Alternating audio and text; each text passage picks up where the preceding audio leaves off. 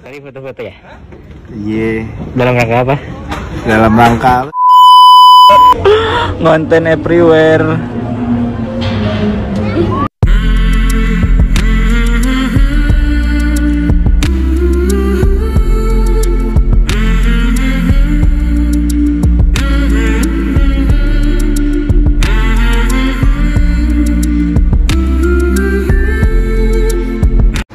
Assalamualaikum, saya Lesti untuk teman-teman semuanya Jangan lupa like, comment, and subscribe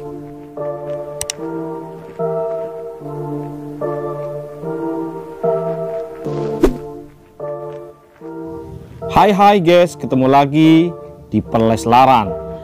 Kabar terbaru terupdate tentang Lesti dan Bilar.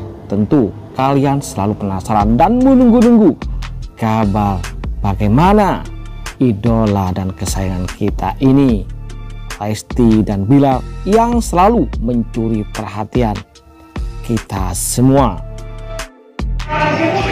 Enggak lo berdua.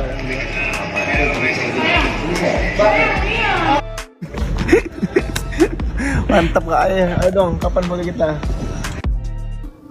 Usai lakukan prewed foto prewedding Lesti dan Bilar ternyata sudah punya rencana dan persiapan yang matang mengenai perjalanan kisah cinta keduanya yakni akan segera menghalalkan hubungan mereka.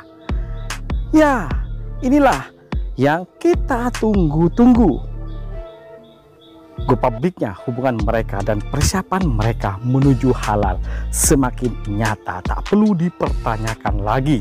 Apalagi sejauh ini Lesti dan Bilar sudah menyiapkan segala sesuatunya ternyata tak hanya priwet tapi mereka sudah merencanakan undangan dan siapa-siapa yang akan mereka undang ya nampak ketika mereka yakni Lesti dan Bilar intent membahas masalah tersebut. Terlihat saat mereka duduk berdua,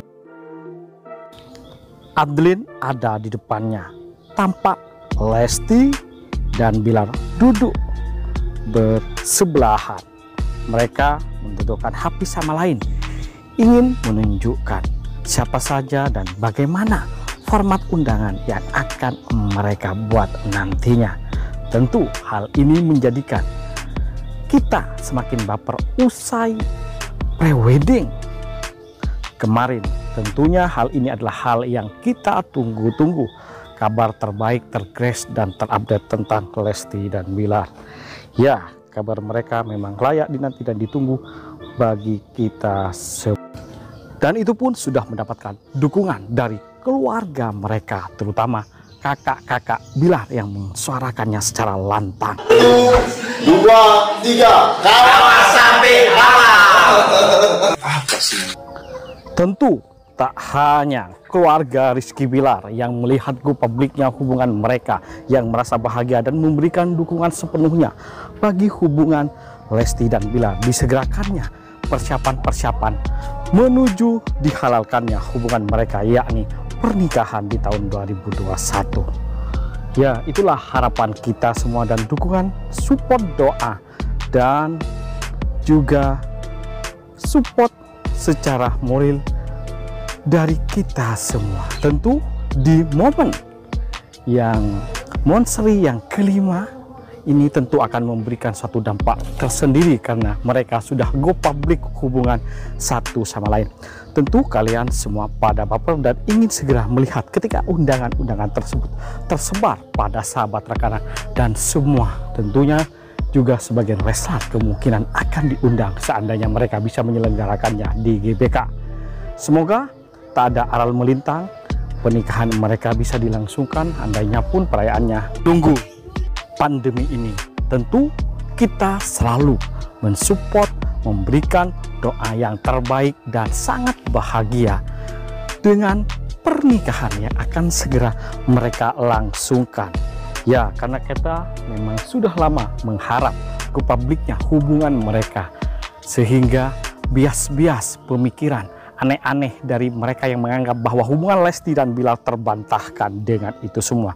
Tentu dengan ini semua pada baper, ada yang sedih, ada yang bahagia, ada yang merasa tidak enak artinya ada yang merong-merong karena terpublishnya hubungan Lesti dan Bilar dan semakin mantapnya mereka menuju jenjang hubungan yang lebih serius mari kita semua untuk selalu mengawal mereka sampai halal sehingga hubungan mereka nantinya bisa menjadi hubungan yang baik.